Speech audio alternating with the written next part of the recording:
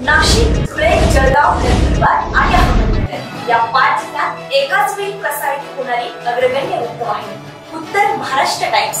नव्या युगाच्या दृष्टिक्षेपात अस्मिता उत्तर महाराष्ट्राची.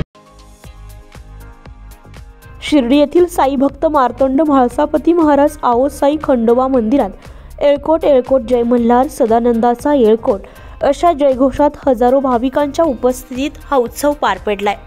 यावेळी हजारो साईभक्त भाविक उपस्थित होते.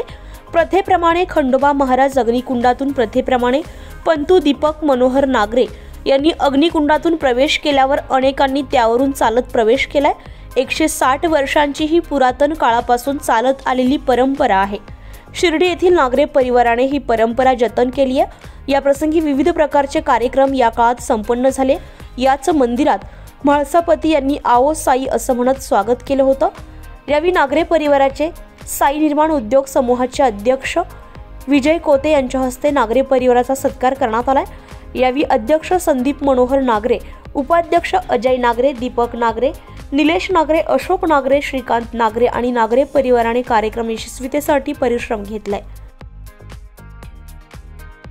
उत्तर महाराष्ट्र टाइम्ससाठी किशोर पाटणी शिर्डी.